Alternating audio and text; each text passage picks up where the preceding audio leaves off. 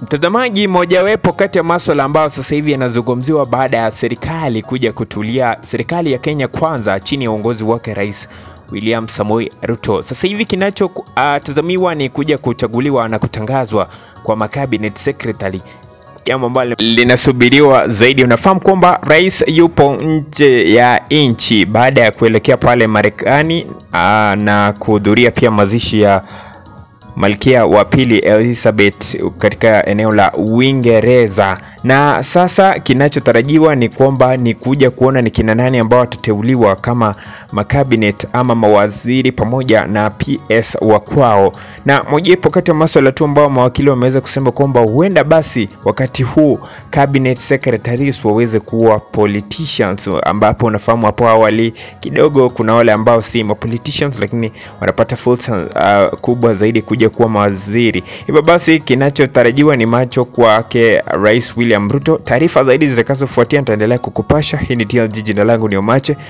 Tafadhali subscribe, tupatane kwenye video ijayo.